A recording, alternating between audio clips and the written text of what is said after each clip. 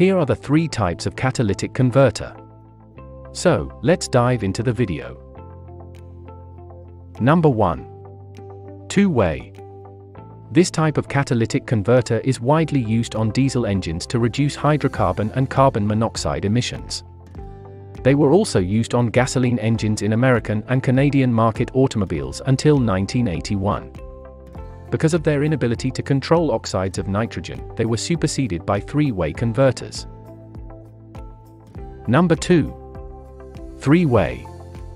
Since 1981, three-way catalytic converters have been used in vehicle emission control systems in the United States and Canada. Many other countries have also adopted stringent vehicle emission regulations that in effect require three-way converters on gasoline-powered vehicles. The reduction and oxidation catalysts are typically contained in a common housing, however in some instances they may be housed separately. Three-way catalysts are effective when the engine is operated within a narrow band of air-fuel ratios near stoichiometry, such that the exhaust gas oscillates between rich and lean conditions. However, conversion efficiency falls very rapidly when the engine is operated outside of that band of air-fuel ratios.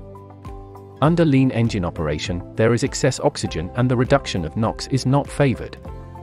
Under rich conditions, the excess fuel consumes all of the available oxygen prior to the catalyst, thus only stored oxygen is available for the oxidation function. Closed-loop control systems are necessary because of the conflicting requirements for effective NOx reduction and HC oxidation.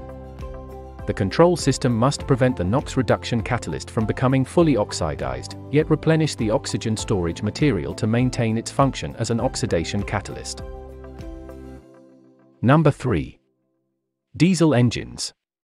Reduction in NOx emissions from compression ignition engines has previously been addressed by the addition of exhaust gas to incoming air charge, known as exhaust gas recirculation.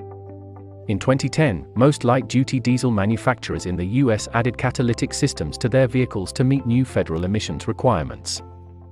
There are two techniques that have been developed for the catalytic reduction of NOx emissions under lean exhaust conditions selective catalytic reduction and the lean NOx trap or NOx adsorber.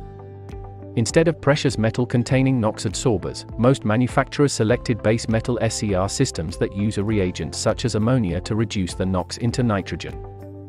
Ammonia is supplied to the catalyst system by the injection of urea into the exhaust, which then undergoes thermal decomposition and hydrolysis into ammonia.